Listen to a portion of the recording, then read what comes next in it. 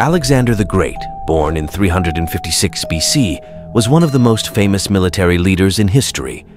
Alexander descended from the ancient kingdom of Macedonia and ascended to the throne when he was 20 years old after the assassination of his father, King Philip II. Determined to fulfill his ambition of conquering the known world, Alexander embarked on a relentless campaign of military conquest that would extend for more than a decade.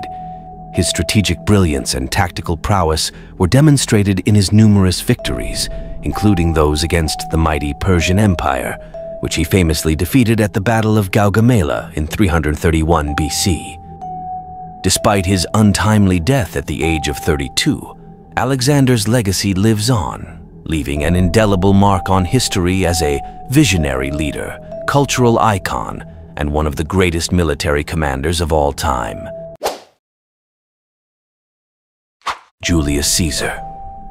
His name is associated with power, conquest, and political intrigue. Born into an aristocratic family in 100 BC, he rose to prominence as a military leader in the late Roman Republic. His conquests expanded the borders of the Roman Empire, earning him the title of Eternal Dictator, or Dictator Forever. However, Caesar's ambitions extended beyond military conquest he was a skilled politician, adept at navigating the treacherous waters of Roman politics. His rise to power culminated in the famous crossing of the Rubicon River, an act that sparked civil war and ultimately led to the downfall of the Republic. Nonetheless, Caesar's reign came to an end in mid-March of 44 BCE, when he was assassinated by a group of senators led by Brutus and Cassius. Despite his sudden death, Julius Caesar's legacy endured, shaping the course of history for centuries to come. Hannibal Barca, a military leader from ancient Carthage and one of the most brilliant strategists and tacticians in history.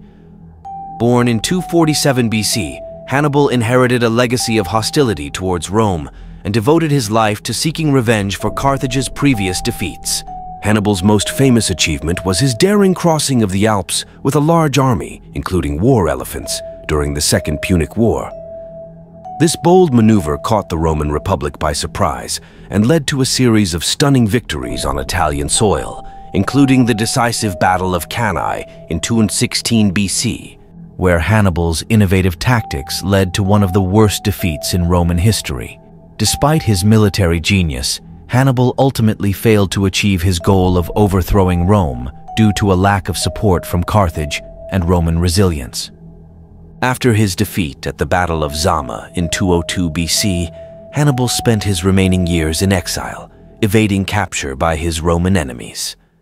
However, even in defeat, Hannibal's legacy as a brilliant tactician and courageous leader lives on, earning him a place among the greatest military minds in history and inspiring future generations of strategists and leaders. His bold strategies and innovative tactics are still studied and admired by military theorists and historians to this day.